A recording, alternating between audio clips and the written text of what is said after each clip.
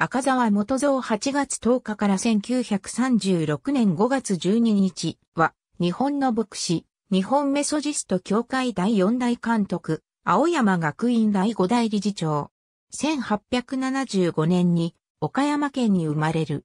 1888年にキリスト教に入信して京都で受選する。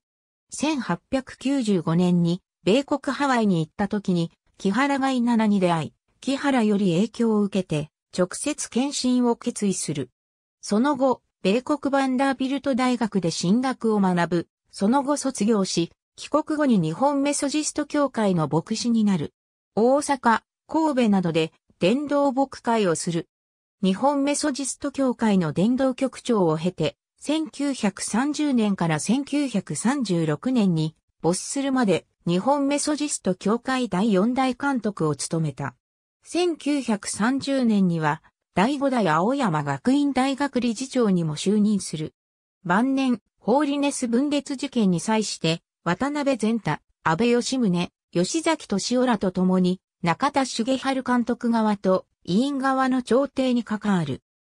赤沢は単独で死を覚悟した時も遺言として安倍義宗に調停を託する。